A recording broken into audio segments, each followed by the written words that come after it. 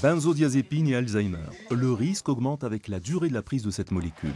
Les chercheurs de l'unité INSERM 657 ici à Bordeaux rendent compte de nouveaux résultats concernant l'association entre les benzodiazépines et la démence.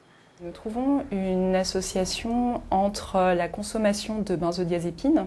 Les benzodiazépines sont des médicaments euh, prescrits pour traiter euh, les troubles de type anxiété et insomnie. Donc nous euh, concluons à une association entre la consommation de benzodiazépines pendant plus de trois mois et chez les personnes âgées et le risque augmenté de développer la maladie d'Alzheimer. En 2012, une étude de cette même unité INSERM 657 avait déjà montré que les sujets consommant des benzodiazépines présentent environ 50% plus de risques de développer une démence comparé à ceux qui n'en ont jamais consommé.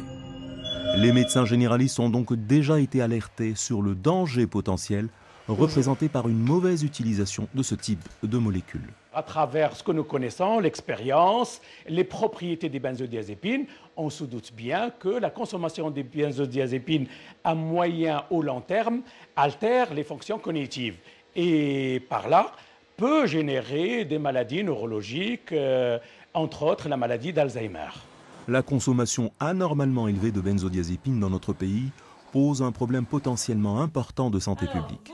Rappelons qu'en France, près d'un tiers des personnes âgées de plus de 65 ans consomment des benzodiazépines de façon chronique, alors que la durée maximale de prescription est légalement limitée à 12 semaines.